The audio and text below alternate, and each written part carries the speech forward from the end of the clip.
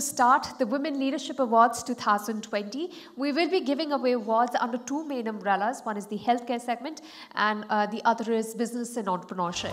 The next award is for the best design solution firm in Jaipur, and the winner is Finesse Design House. I would invite Ms. Pooja Vijayvargya, the founder and designer of Finesse Design House.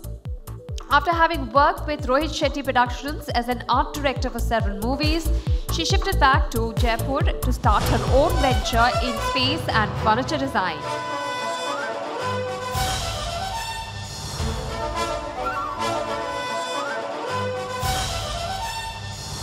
A big round of applause for all the winners today. You're all big winners in your fields. It's a day for you to feel happy and accomplished because you truly are the best. Thank you.